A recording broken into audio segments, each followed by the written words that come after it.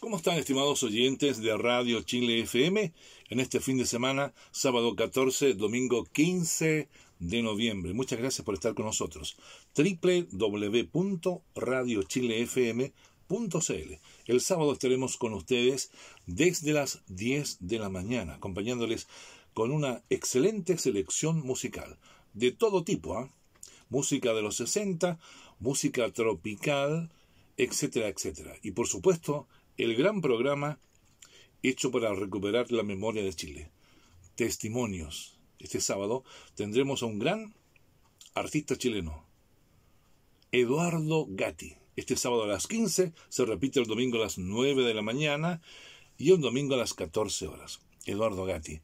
Estaremos conversando con él esa posibilidad de grabar un tema con Víctor Jara, El derecho de vivir en paz. Lo grabó con su grupo Los Blobs. ¿Mm? Escuchen el programa extraordinario.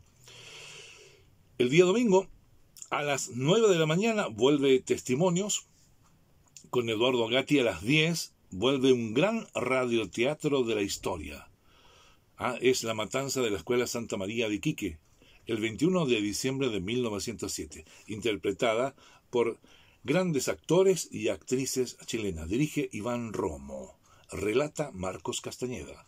Bueno, a las diez y media llega el gran programa realizado en Estados Unidos por nuestro gran amigo locutor chileno Abelardo Contreras, El baúl del tío Abelardo. Esta semana sensacional. La música de las mejores películas que nosotros hayamos visto en el cine. A las 10.30. Y a las 11, un programazo. Sin fronteras, con todo lo que está sucediendo en Chile y el mundo, desde Canadá hasta Punta Arenas. Tendremos como invitado al padre Felipe Berríos en Sin Fronteras este domingo. Le vamos a preguntar de todo. ¿Qué pasa con el año de protestas que llevamos hasta noviembre del año 2020? ¿Qué pasa con los derechos humanos? ¿Qué pasa con Víctor Pérez? ¿Por qué salió Víctor Pérez? ¿Por qué entró Rodrigo Delgado? Todo, todo se va a saber este domingo con el padre Felipe Berríos.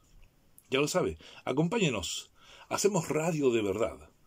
Este domingo 15 y el sábado 14 de noviembre. Muchas gracias. Nos encontramos.